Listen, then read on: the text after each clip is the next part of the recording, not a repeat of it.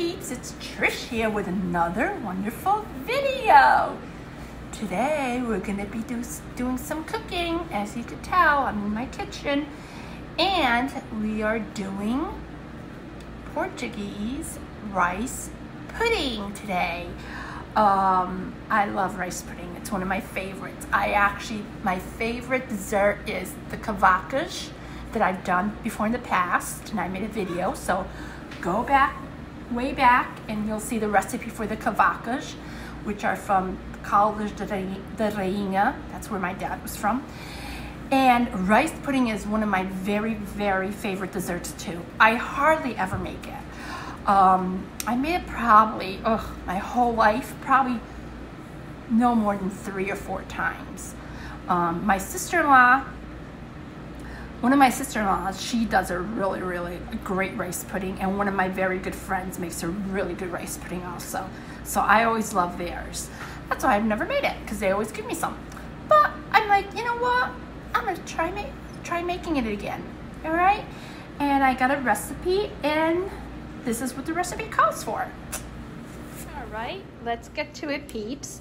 What we'll need is the uh, one cup of rice and preferably you use Carolina short grain rice. I actually have Carolina here, but it's a long grain rice, but that's okay. I'm gonna use that one because I didn't have the short grain.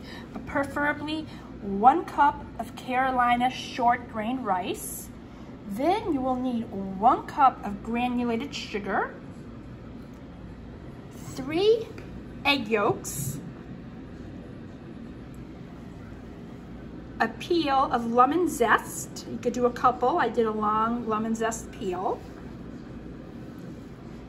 One cinnamon stick, half a teaspoon of salt. I usually don't even put salt in mine, but this recipe adds for salt. So half a teaspoon of salt, three cups of whole milk, two cups of water, a wooden spoon, and a medium-sized pot. And out, then for decoration, you will need some ground cinnamon.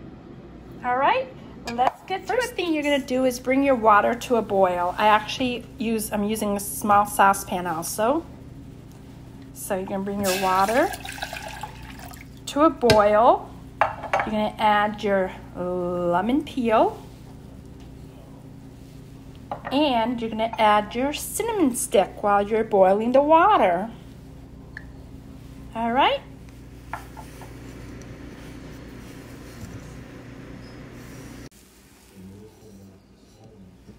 A little hack bit here while I'm doing this. I, when I'm cooking, every time I'm cooking, and whatever spoon I'm using to mix my ingredients, whether I'm whether I'm boiling water, milk, or cooking rice or anything like that, or even making any kind of stew over the stove, I take my utensil that I'm using to mix my ingredients and I put it over my pot like that. So what happens is if it starts boiling and trying to go over the spoon will actually interact with the liquid or whatever ingredients you're trying to make and slow it down from overflowing. So I do that all the time, just a habit I have of doing it. Um, not sure where I picked that up from, but some of you might already know it. But yeah, quick little hack there so you don't over boil your pot.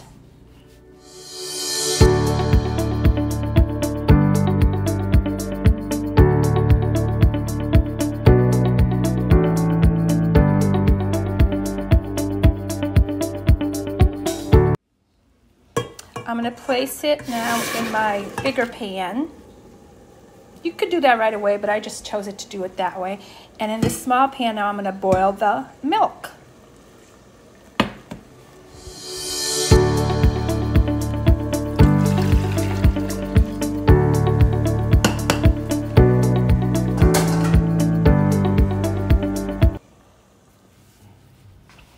Boil the milk.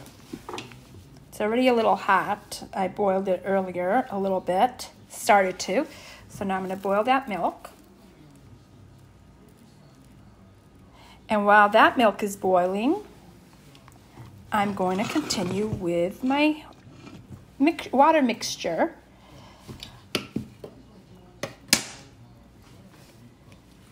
I'm going to move the milk closer to you while it boils.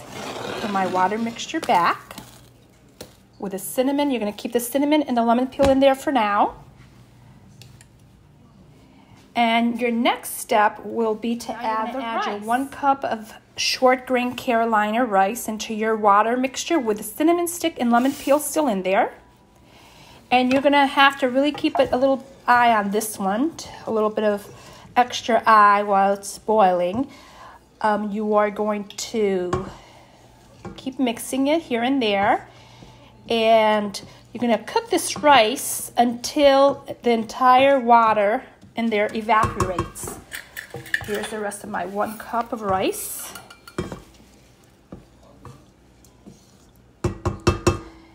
And while you're doing that, you could have your milk boiling, starting to get hot.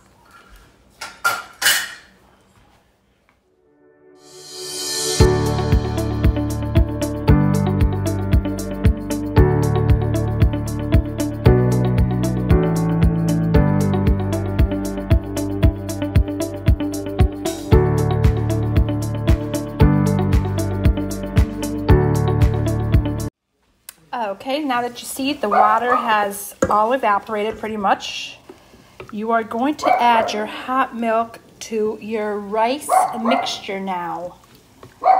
And you are going to cook it for at least about 25 minutes, 30 minutes on low and stirring. And this is one of a very important part.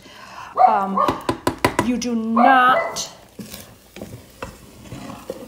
want it to burn, oops, or stick to the bottom of the pan. So you constantly need to stir it. For about 25 minutes, you're gonna do this. Just add a little bit. Turn that other one off.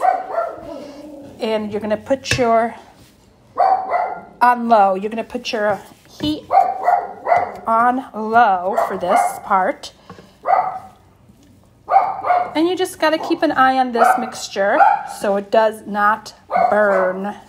You do not want it to burn for sure because then it'll it won't taste as good, you know.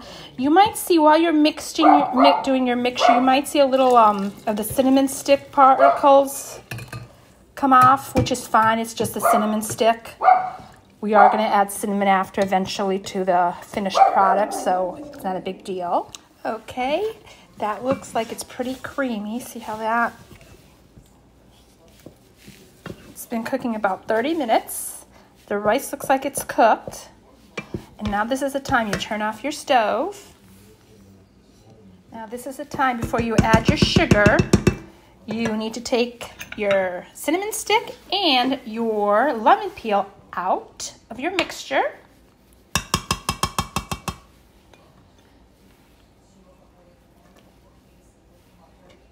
There's another little piece that is here. Oops. Where did it go? Here it is. That's all I have for, let me see, make sure I got it all. I mean, if a little lemon peel stays behind, oh, here's a little, it's not a big deal. There it goes. And I think that's it. Okay, now this part, you now it's time to add the sugar. You turn off your stove. You do not need the stove on to do this part. You add your sugar. This is very important um, because once you add your sugar to your rice mixture, your rice is done cooking. Um, it will not cook with the sugar after that, which it is, mine is done cooking. It's actually coming out so good. It looks so good. Okay, now you add your sugar mixture and your sugar is gonna be let me see here, one cup of granulated sugar. And you cook it for five minutes with the stove off, though. You just mix it for about five minutes. Leave it on your stove top. Okay, so one cup of granulated sugar.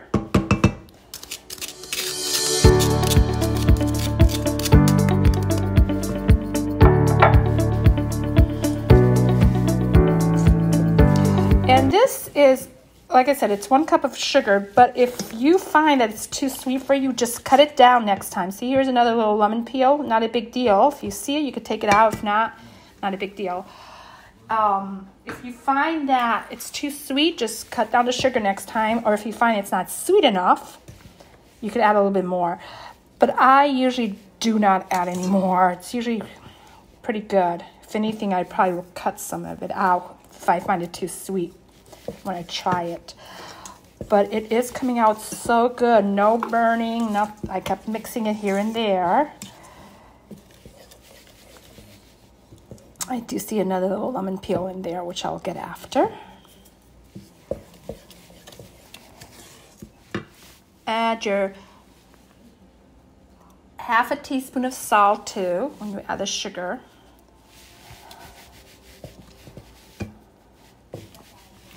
And if you don't want to add salt, you don't. I usually don't, but since the recipe, this recipe called for it, I, I'm just adding it in a little bit. I said mix it for about five minutes with no heat with the sugar. And now that should be done. Now you're gonna take your three egg yolks and you are going to beat them. One already broke, of course. Whoops, oh shoot. Sorry, peeps, I hit the camera.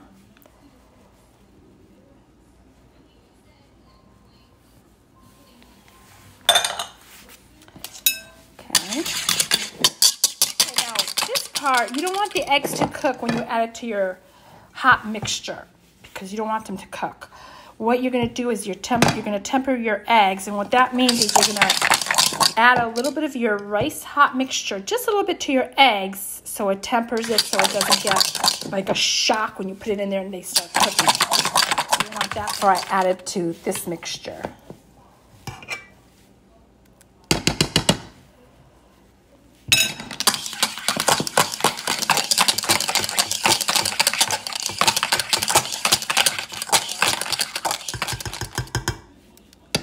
the reason we're doing this, like I said, I'm not sure if you're understanding, but the reason it's so that if you add your egg mixture to your hot rice mixture, it's going to start cooking.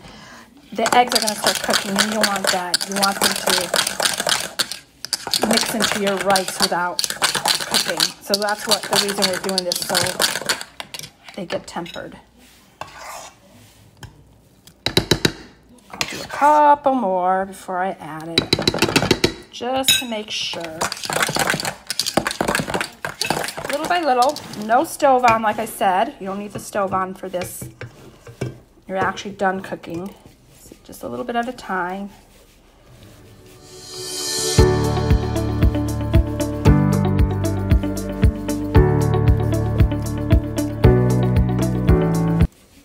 And now that your mixture all done, you added your egg yolk. I mean your egg yolks your mixture is all done. Now you need to cool it. Let it cool it. Cool it. Sorry. Um, I find you you find that this plexiglass that I bought these at um the Christmas tree shop. Uh, that's where I bought these. They're little they're plexiglass, and I use these a lot for desserts like this, for flan or for things like. It's perfect because it has a little lip um, so it's a little thick, so your mixture go up a little bit. It's not too flat, but you could put it on a plate even if you want your mixture thinner. You could put it on a plate. Um, you could put it in. I wouldn't do it thicker than this because you don't want it too thick. Um, so and the like I said, I got these. It's plexiglass. It's so cheap, so cheap at Christmas tree shop, and they are made in the USA. So that's where I'm going to pour my mixture into the rice pudding, I should say now nice and yellow, which is beautiful. So you're gonna pour that in and then you're gonna let it cool. And then once it's, and it hardens a little bit, once it's all cool, um, you're gonna garnish it with cinnamon, powdered cinnamon. And I will show you that once it is ready and it's set a little bit. All right, and you leave it at room temperature for now. But it does have to go in the fridge afterwards. There, now you just let it sit until it cools and sets a little bit. Be right back. So it's all nice and cooled and it's it has set the rice pudding. So now I'm gonna garnish it with cinnamon. Now there's a different ways you could do this. You know, be creative, do it the way you like. You could just sprinkle the cinnamon on top as much as you like. Um, another way to do it is you could take a little shot glass. I have these little tiny like stem shot glasses. I have the other ones too, but I figured to use this one. You could dip it. Let me just move this over. Here's the cinnamon. And what you do is you take the little shot glass, you dip the rim in water, a little bit in water right there, and then you dip it in the cinnamon. And then you can make little circles. See that? Oh, let me get more water and more cinnamon here. And you can make little circle designs.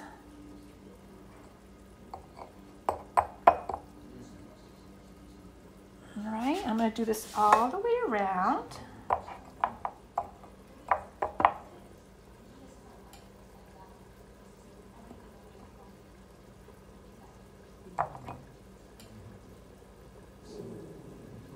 Not so perfect, but that's okay.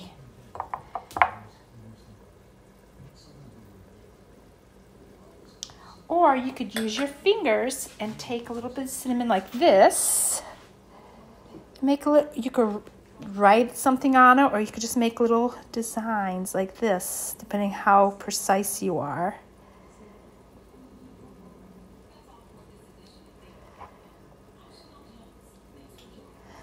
You know, be creative, do your own designs if you like.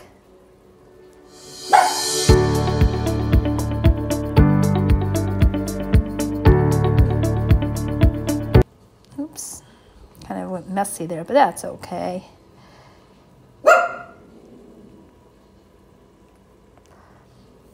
Or I could do your own little design. I'm going to do the happy face. I probably should have done it before, but that's okay. So you could do like a little happy face. Let me see if that's how that's going to work out. If I do it, nope, I'm to do it right here. And then what you just do is you just sprinkle it on top. See that? Watch. See how that's going to come out.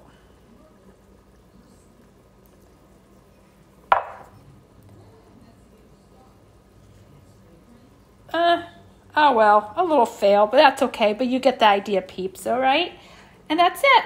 Then make sure you put this in the fridge because it does have eggs and milk, so you need to keep that, keep it refrigerator, refrigerated, and you can enjoy it later. Um, I like to warm mine up after I put it in the fridge in the microwave, so it's a little warm. Yeah, enjoy.